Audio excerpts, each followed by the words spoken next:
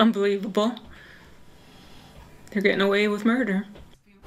A mid-Michigan family angered by the outcome of the Michigan Solicitor General's Flint water criminal investigation. It's been a little over a month since criminal charges were brought back, this time against nine former city and state employees. Two former top state health officials are charged with deaths connected to the crisis, nine counts of involuntary manslaughter for nine people who died of Legionnaire's disease in 2015.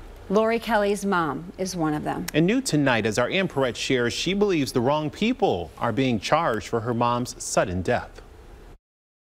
We know at least a third of the people represented in those nine involuntary manslaughter charges were treated at McLaren Flint, and their families are suing the hospital, saying they died because of the hospital's negligence. The state health department has confirmed the connection, saying from 2014 to 2015, during Flint's water crisis, 52 people contracted Legionnaire's disease because the bacteria was in the hospital's water supply. There's no trust at McLaren. There never will be. They killed my mother. I have no use for him.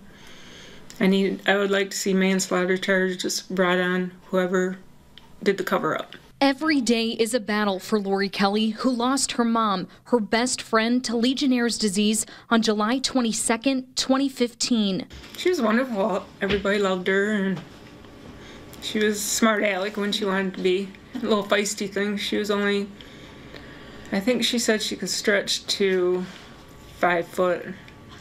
She was short. Short, but her daughter says Nelda Hunt was a fighter. She turned 80 years old exactly two weeks before she passed. It's the same day she checked into McLaren Flint.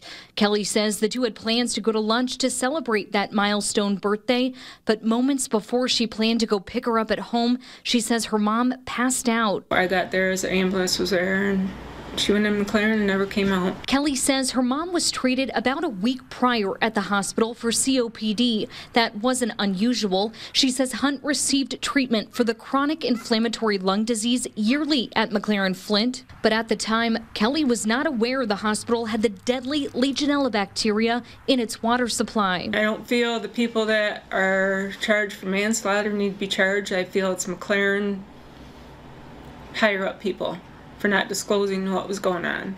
McLaren Flint has maintained the city's water source switch is to blame for the Legionnaire's disease cases at their hospital in 2014 and 2015. But in a letter we uncovered from the CDC, they state that the hospital has been a source of the bacteria since 2008, six years before Flint's water crisis. Coming up tonight at 6, the hospital's detailed argument against the CDC. In Flint, I'm Ann Pierret, ABC 12 News.